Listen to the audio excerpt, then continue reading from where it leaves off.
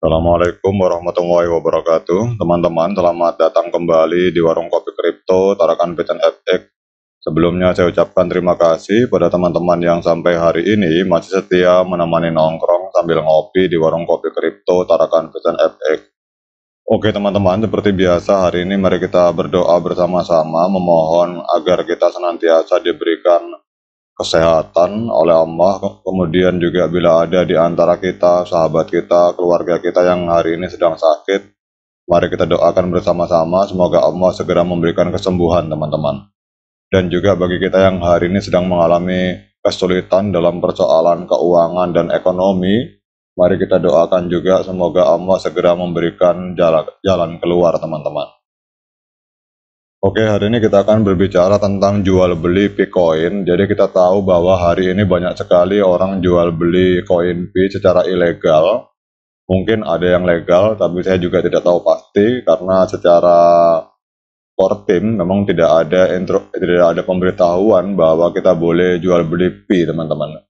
Yang saya tahu kita hanya boleh jual beli uh, jasa atau barang dengan menggunakan koin P.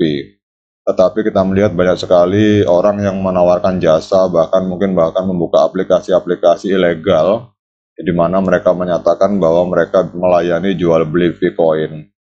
Nah, untuk me untuk menyikapi persoalan tersebut, ini ada sebuah harapan yang ditulis oleh CryptoLink VN bahwa banyak sekali di antara pionir yang berharap bahwa pada apabila nanti di roadmap ada peluncuran roadmap di bulan Desember 2023 ini banyak uh, para pionir berharap agar ada fitur di mana kita bisa langsung jual beli Bitcoin itu di dalam aplikasi P Network teman-teman.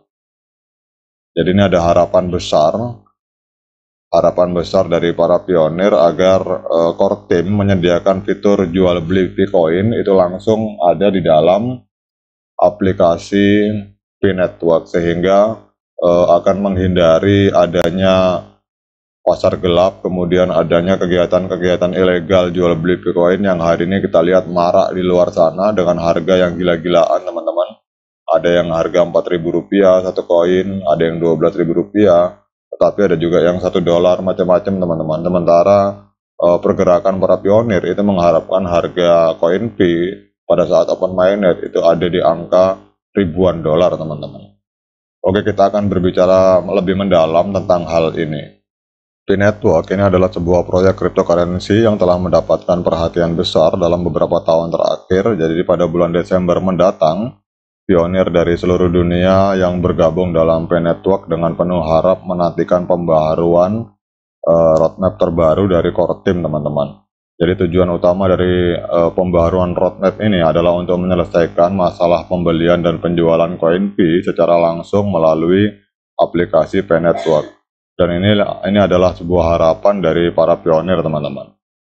P-Network ini awalnya di, diperkenalkan sebagai eksperimen. Jadi P-Network ini awalnya diperkenalkan sebagai sebagai eksperimen sosial berbasis teknologi blockchain. Hari ini telah tumbuh menjadi komunitas global yang terdiri dari jutaan pengguna di seluruh dunia. Dengan memanfaatkan sumber daya yang terkumpul dalam lingkungan jaringan sosial ini, P-Network berhasil menciptakan cryptocurrency sendiri yang bernama CoinP. CoinP telah menjadi elemen penting dalam ekosistem P-Network mirip dengan mata uang digital lainnya dan memungkinkan pengguna untuk melakukan berbagai transaksi.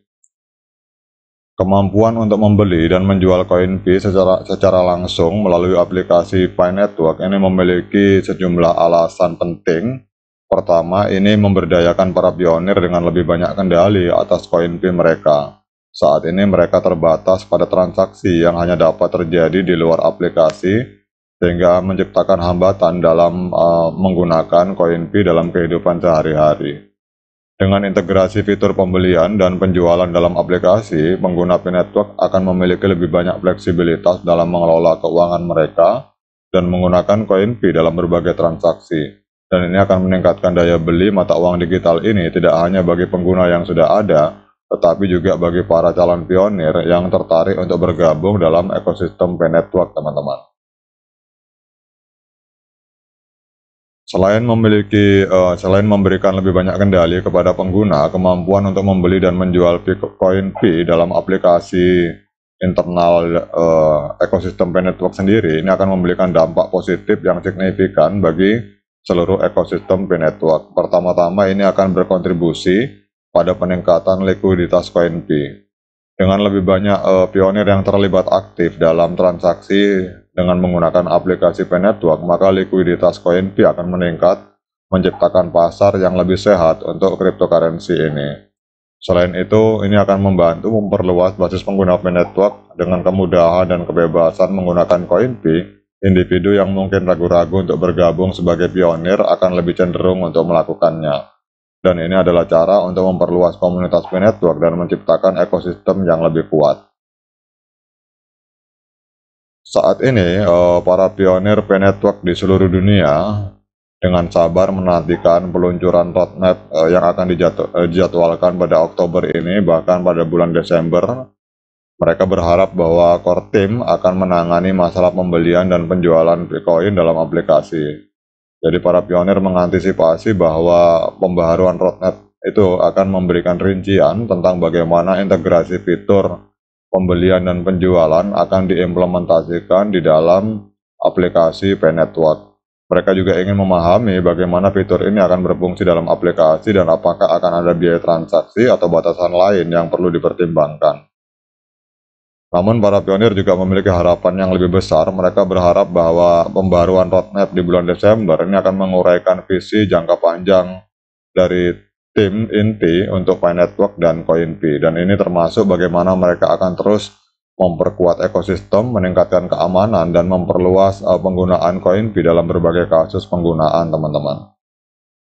P-Network telah mencapai beberapa tonggak penting sejauh ini. Mereka telah berhasil membangun komunitas global yang kuat dengan jutaan pionir bergabung. Ini pada dasarnya adalah prestasi luar biasa dalam dunia cryptocurrency. P-Network juga telah meluncurkan fase testnet dan mainnet tertutup, langkah-langkah penting dalam membangun ekosistem yang lebih kuat. Para pionir sangat menghargai kerja keras dari uh, core team dalam mengembangkan proyek ini dan mereka berharap pembaruan roadmap tersebut akan memberikan gambaran yang lebih jelas tentang uh, masa depan P Network. Dengan pembaruan yang transparan dan komprehensif, ini akan membantu memperkuat kepercayaan dan komitmen para pionir pada proyek ini. Ketika membicarakan harapan para pionir untuk roadmap ke depan, kita juga harus mempertimbangkan dampak jangka panjang yang akan dihasilkan dari kemampuan untuk membeli dan menjual koin P dalam aplikasi P Network. Ini adalah langkah yang akan uh, membuka pintu untuk lebih banyak inovasi dan pengembangan dalam ekosistem P Network. Salah satu area di mana P Network telah menunjukkan potensi besar ini adalah dalam penggunaan koin P untuk transaksi sehari-hari.